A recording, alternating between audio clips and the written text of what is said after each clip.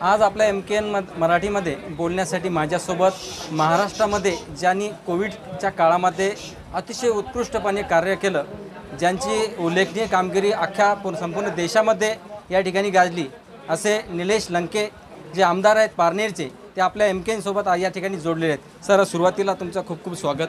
नमस्कार. तर कोविडचा जो काळ होता तो अतिशय कठीण असा काळ होता. अशा काळामध्ये आपण आपल्या जीवाची पर्वा न करता एक हजार बेड त्या ठिकाणी उपलब्ध केले आणि आपल्या मतदारसंघामध्ये जी परिस्थिती आपण पाहिली त्याचं थोडंसं आम्हाला याबद्दल सांगा.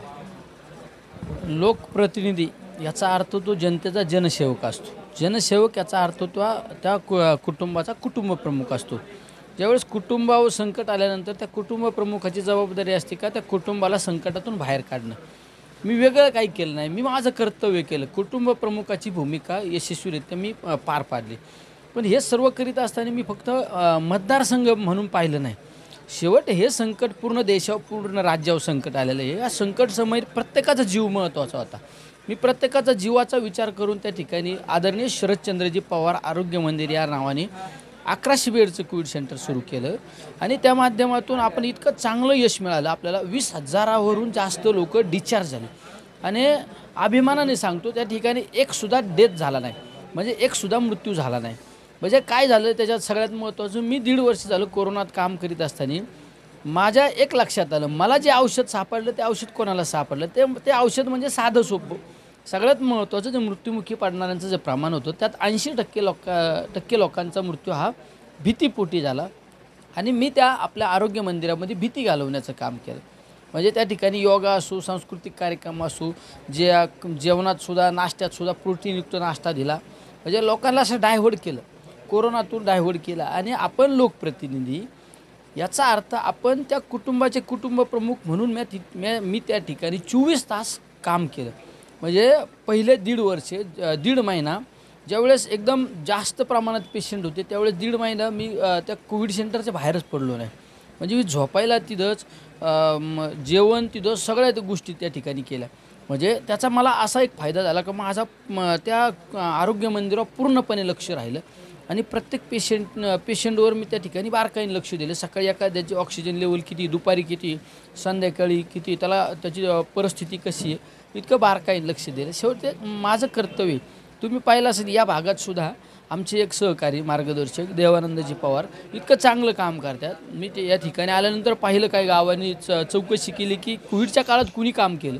तर त्यावेळेस इतकं बारकाईने लक्ष दिलं शेवटी ते माझं कर्तव्य तुम्ही पाहिलं असेल या भागात सुद्धा आमचे एक सहकारी मार्गदर्शक देवानंदजी पवार इतकं चांगलं काम करतात. मी ते या ठिकाणी आल्यानंतर पाहिलं काही गावांनी च चौकशी केली की कोविडच्या काळात कुणी काम केलं.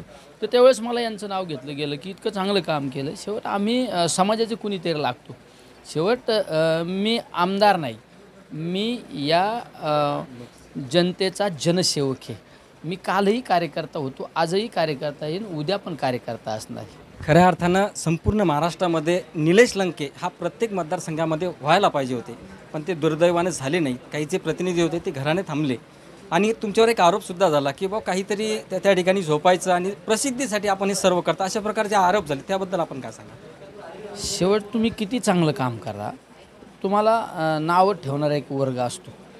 पण आपण काम करीत राहायचो दुर्लक्ष द्यायचं. साधू संतांना लोकांनी त्रास दिला तर आपण कोण आहे?